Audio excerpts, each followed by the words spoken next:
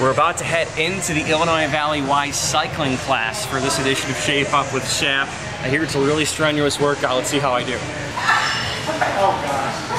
All right, I'm ready to go. Is this the right class for cycling or what? Now, when people think cycling, Angie, I mean, basically, you're just riding a bike, right? Kind of? Kind of. No. I'm gonna find out for myself just to see how intense it is. Because it is a, a very... It's extremely intense. It's we do things that you wouldn't do on a bike outside on the road. Okay. I mean, And we ride no hands a lot. you know, I can't do that on a real bike. I'll fall.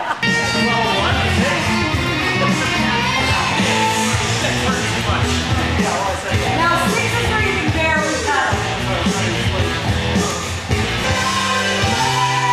What all are we gonna be working out? What type of muscles are we? What type of muscles are we hitting here?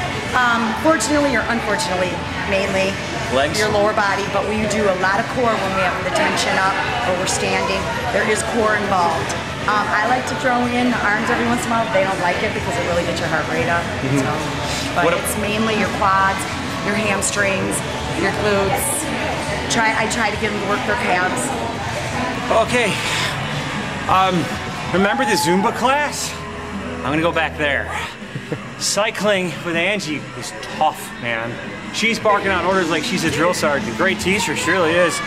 But man, my legs, they haven't gone down yet. They're still like pulsating and swelling. It's, I don't know. It was it was an excellent workout. Um, I, my, I'm breathing heavy. Uh, definitely it is everything that you really need for a workout. It really is. Um, you know, you do things with your arms, but mainly it focuses on your legs, especially right in here in your uh, thighs, big time in your thighs.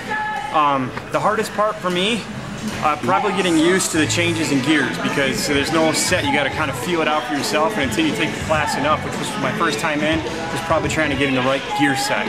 But uh, otherwise, they have a lot of fun in there and they get a good workout. So check out Cycling with Angie at the Illinois Valley Y. They have it for sure uh, on Wednesdays at 5 o'clock. And I know they I think they have it other times too. So check it out. The schedule's right below here on 993wajk.com. to Shape Up a Shap page. Thanks a lot to Angie and her class. Be back with another episode next week.